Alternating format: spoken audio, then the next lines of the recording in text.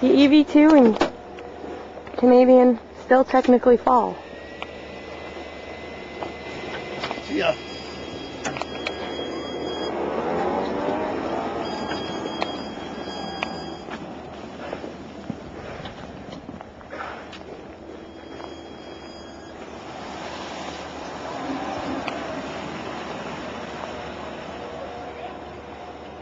Dad's all pro in it.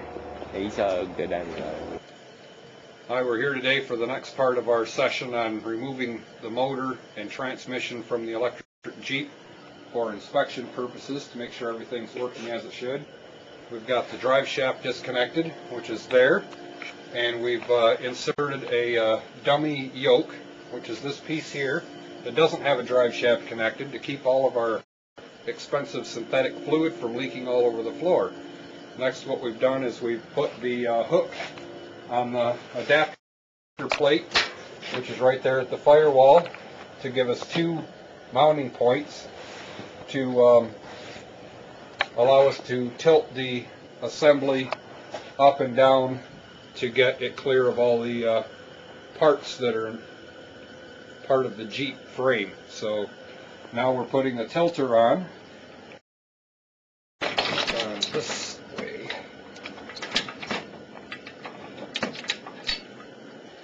So that we can get this motor mount unbolted from the frame.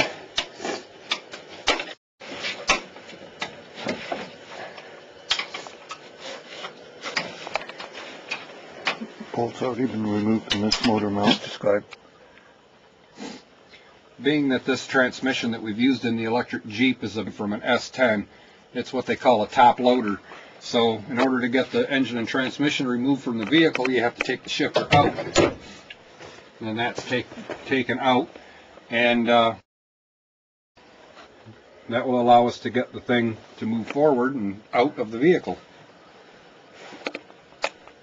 Okay.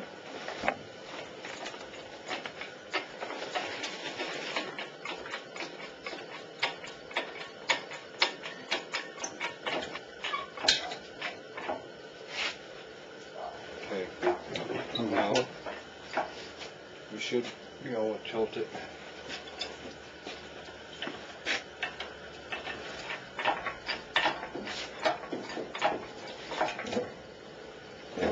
And try pulling her back.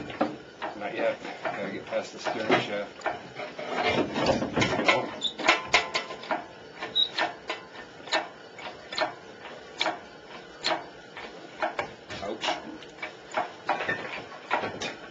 Gotta go back.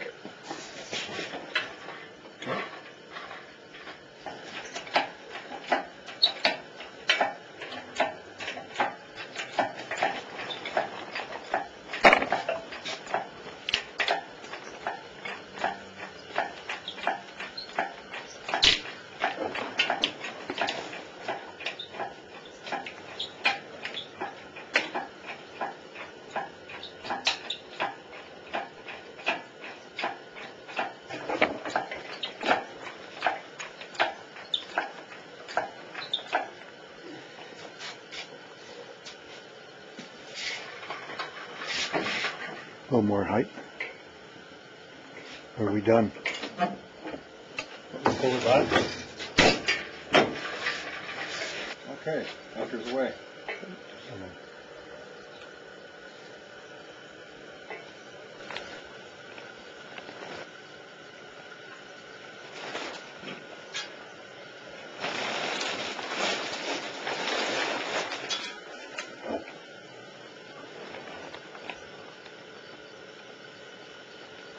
We want to set it on anything? or- No.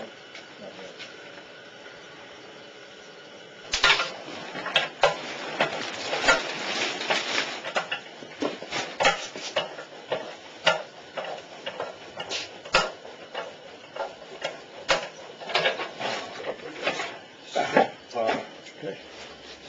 Okay, so that's what would in the transmission